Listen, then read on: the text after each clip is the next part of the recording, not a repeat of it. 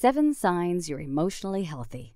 Emotional health is complex and multifaceted. Unlike your IQ score, which is fairly stable, anyone can become more emotionally healthy. Therefore, we're not trying to cast a negative light on emotionally unhealthy people. Almost everyone's emotional health is a constant work in progress. Instead, we're hoping to incite self reflection and higher awareness about your personal struggles with emotional health. How emotionally healthy would you deem yourself? Be critical and honest with yourself as you watch this video. Just don't beat yourself up over it.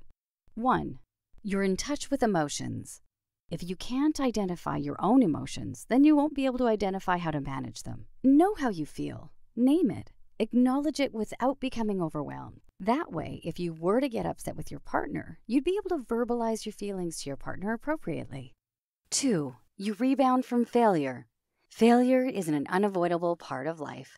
It makes our goals seem out of reach, and our negative self talk goes off the hook. Emotionally healthy people ignore the you can't do it gut reaction and stop the negative self talk. Instead, they look at what they're in control of, reevaluate the situation, and put in more effort. This helps them to plan better and try different approaches in the future. 3. You believe there's a reason for everything. The most emotionally healthy people draw meaning from the traumatic events that occur in their lives. In other words, while they are grieving, they're also simultaneously adapting and searching for ways to recognize not only what they lost, but also what they can gain. 4. You like yourself. Learn to like yourself even in the worst moments. Avoid the self criticism and negative thoughts. Stop kicking yourself when you're already down. Exercise self compassion. What would you say to a friend that was dealing with whatever issue you're facing? Be encouraging and supportive and feel good about who you are. Learn to see yourself through the eyes of the people who truly love you. 5. You see the big picture. Realize that every action has a reaction as well as consequences. Taking time to pause and consider how your actions are going to affect you in the present and future is a telling sign of emotional health. 6. You're resilient.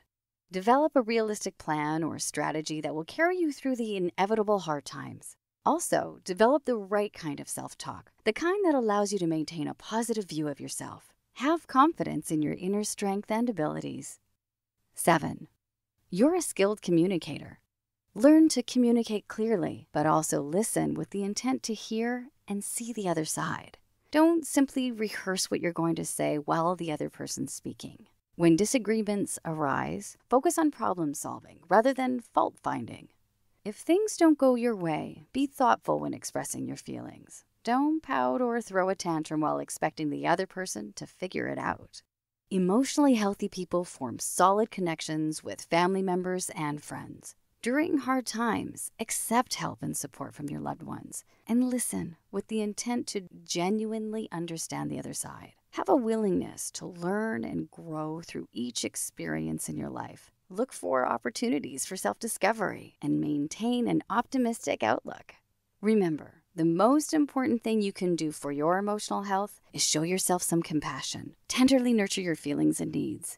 Make time to engage in activities that you find relaxing. Exercise on a regular basis. When you're physically and emotionally strong, the world becomes smaller and conquerable. You're going to be happy, said life. But first, I'll make you strong.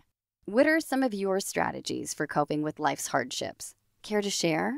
Please do so in the comments below. If you enjoyed this video, please like and subscribe to see more content from Psych2Go.